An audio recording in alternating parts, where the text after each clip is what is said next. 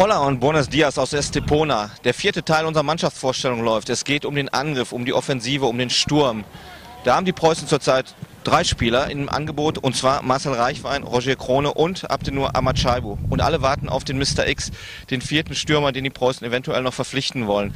Die Zeit drängt, es sind nur noch zehn Tage Zeit. Wir schauen uns mal an und sprechen mal mit den Protagonisten, mit Marcel Reichwein, siebenfacher Torschütze in der ersten Serie und mit Roger Krone, der sechs Tore geschossen hat. Wir sehen uns gleich im Hotel. Hey! Wir sind im vierten Teil des SC Preußen, im vierten Mannschaftsteil des SC Preußen angelangt, der Sturm. Neben mir sitzen die beiden Männer, die dazugehören. Links von mir Marcel Reichwein, siebenfacher Torschütze in der ersten Serie, im ersten Teil der Saison.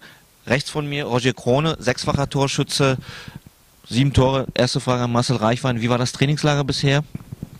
Ja, ich denke, es war ganz gut. Wir haben uns ähm, ja, relativ schnell eingefunden. Die Bedingungen waren sehr gut. Äh, wir haben einen sehr guten Platz vorgefunden und ähm, ja, ich glaube, wir konnten ähm, auch ähm, einiges einstudieren und ähm, ja, obwohl der erste Test nicht ganz so verlaufen ist, wie wir uns das vorgestellt haben, aber ähm, auch da denken ich, können wir die Fehler, die wir gemacht haben, rausziehen und es heute besser machen.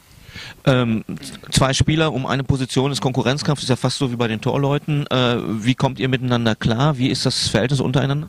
Ja, wir haben ein sehr gutes Verhältnis. Ich glaube, ähm, so es auch nur. Wir, wir wollen als Mannschaft Erfolg haben und ähm, es ist ja auch nicht ausgeschlossen, dass wir mal zusammen spielen. Wir haben es ja auch schon in der Hinrunde gemacht und ja, das ist einfach im Fußball ist das so und ähm, ja, wir versuchen ähm, als Mannschaft ähm, gut miteinander umzugehen und ja.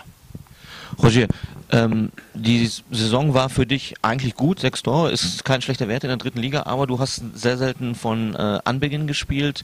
Äh, bist du in diesem Trainingslager vielleicht einen Schritt vorangekommen für dich persönlich äh, oder wie siehst du deine, äh, deine eigene Situation im Moment?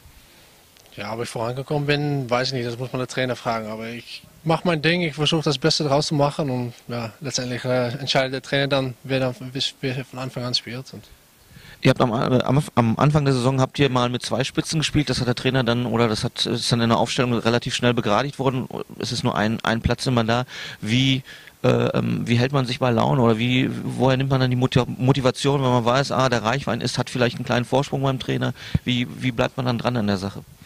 Ja, ja, wir haben nicht lange mit zwei Stürmen gespielt natürlich. Das erste Spiel nach Rostock war wir sofort äh, ja, zur Seite geschoben und aber normalerweise, wir kommen gut miteinander klar, Cello und ich. Und ich denke auch mal, dass wir in der Rückrunde nochmal zusammen auf dem Platz stehen.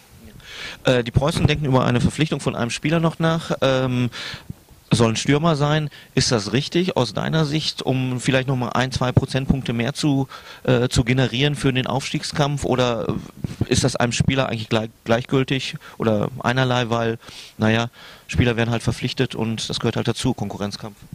Ja, dazu gehört es auf jeden Fall. Ähm, wir haben auch keine, keine, ähm, keine Befugnis darüber zu urteilen. Das entscheiden andere Leute. Und ähm, ja, wenn, äh, wenn jeder Spieler ist natürlich herzlich willkommen, der uns weiterhilft. Und ja, wir werden sehen. Im Endeffekt äh, ändert das nichts an der Situation. Und ja, wir haben, äh, wir haben keinen großen Kader, das sieht man jetzt auch. Fabi Hergesell, der wird jetzt auch wahrscheinlich, so wie es aussieht, eine längere Zeit ausfallen.